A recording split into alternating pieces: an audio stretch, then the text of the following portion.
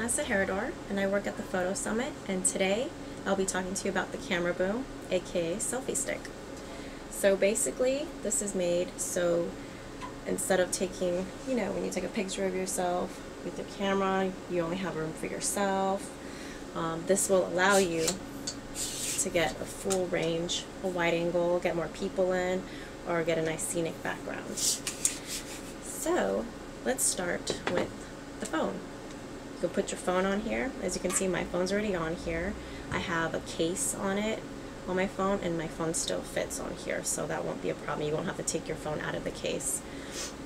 And so let me show you exactly how much room you have when you record. So let me just put this on record so you can see.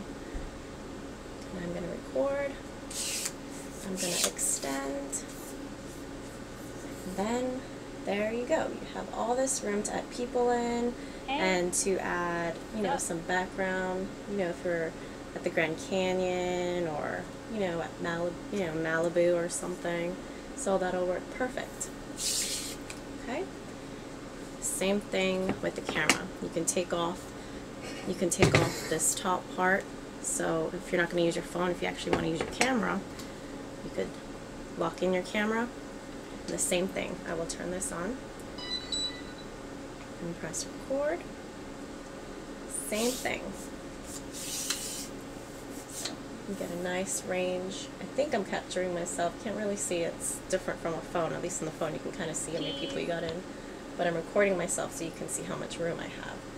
So this is the selfie stick, camera boom, and it works great, you know, if you're traveling and you don't want to carry a big camera, at least, you know, if you're used to your camera phone, you can get a nice scenic background picture.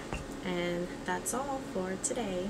Have a great day and hope you come in at the Photo Summit to buy a camera boom stick.